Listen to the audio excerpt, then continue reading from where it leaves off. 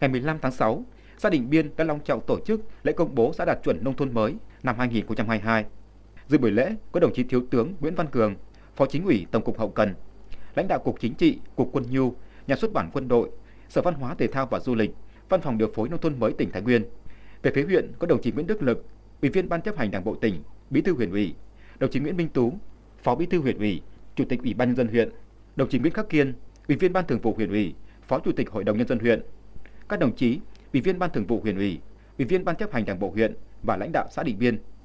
Qua hơn 10 năm xây dựng nông thôn mới, Đảng bộ và nhân dân các dân tộc xã Định Biên đã đạt được những kết quả quan trọng về xây dựng nông thôn mới. Đến năm 2022, xã Định Biên đã đạt 19 trên 19 tiêu chí xây dựng nông thôn mới. Tỷ lệ đường xã được nhựa hóa, bê tông hóa đạt 100%. Đường giao thông nông thôn được cứng hóa, đi lại thuận tiện. Đường nội đồng được cứng hóa trên 12 km. Diện tích đất nông nghiệp được tưới tiêu chủ động đạt 92,9%. Kênh mương đã kiên cố hóa được tổng chiều dài 23,59 km, đạt trên 83,98%. 3 trên 3 trường học đạt chuẩn quốc gia, 9 trên 9 xóm có nhà văn hóa.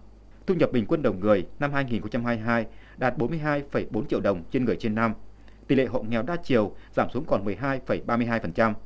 Tỷ lệ hộ có nhà tắm, nhà tiêu, thiết bị chứa nước sinh hoạt hợp vệ sinh và đảm bảo ba sạch trên 70%. Toàn xã có 95,5% hộ gia đình được sử dụng nước hợp vệ sinh. Đường làng ngõ xóm xanh sạch đẹp, an ninh chính trị, trật tự an toàn xã hội được giữ vững. Cả ba cấp học, mầm non, tiểu học và trung học cơ sở đều được đầu tư cơ sở vật chất khang trang và đều đạt chuẩn quốc gia. Trạm y tế được đầu tư xây dựng kiên cố, cơ bản phục vụ nhu cầu khám chữa bệnh của nhân dân. Phát biểu tại buổi lễ, lãnh đạo huyện đề nghị để tiếp tục duy trì và nâng cao chất lượng tiêu chí nông thôn mới, xã Định Biên cần tiếp tục đẩy mạnh công tác tuyên truyền đến toàn thể cán bộ, đảng viên và nhân dân, tích cực tham gia xây dựng nông thôn mới, gắn với các phong trào thi đua, các cuộc vận động. Quán triệt quan điểm xây dựng nông thôn mới là nhiệm vụ trọng tâm, toàn diện, lâu dài trong sự nghiệp phát triển nông nghiệp, nông dân, nông thôn, là quá trình thường xuyên, liên tục, có điểm khởi đầu nhưng không có điểm kết thúc. Với kết quả đạt được trong việc tổ chức thực hiện chương trình mục tiêu quốc gia xây dựng nông thôn mới, Đảng bộ, chính quyền và nhân dân các dân tộc xã Định Biên vinh dự được Ủy ban dân tỉnh Thái Nguyên công nhận xã đạt chuẩn nông thôn mới năm 2022. Thưa ủy quyền của lãnh đạo Ủy ban dân tỉnh Thái Nguyên, lãnh đạo huyện ủy, Hội đồng nhân dân, Ủy ban nhân dân huyện đã trao bằng công nhận xã đạt chuẩn nông thôn mới cho xã Định Biên.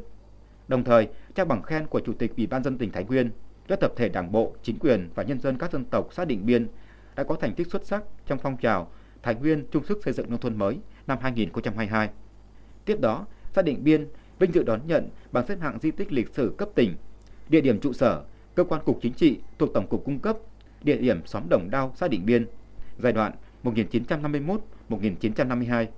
Ủy ban nhân dân xã khen thưởng cho các tập thể và cá nhân hoàn thành xuất sắc nhiệm vụ trong phong trào thi đua Định Biên chung sức xây dựng nông thôn mới giai đoạn 2021-2025.